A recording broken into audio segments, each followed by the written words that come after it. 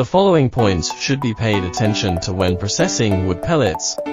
First, before the operator gets on the pellet machine, he must read the instruction manual carefully and be familiar with the various technological processes of the pellet mill equipment. Second, the pellet machine needs to be installed and fixed on a flat concrete floor, and the screws should be tightened. Third, smoking and open flames are strictly prohibited at the production site.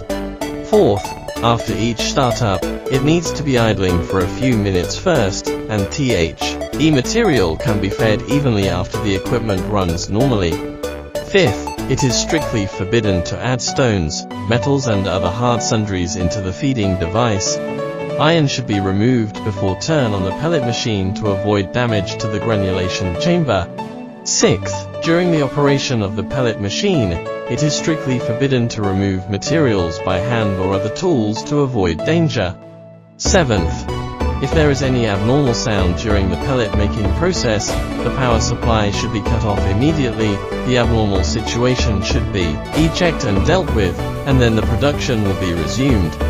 8th, the feeding must be stopped before shutdown, and the power supply must be cut off after the raw materials of the feeding system are processed.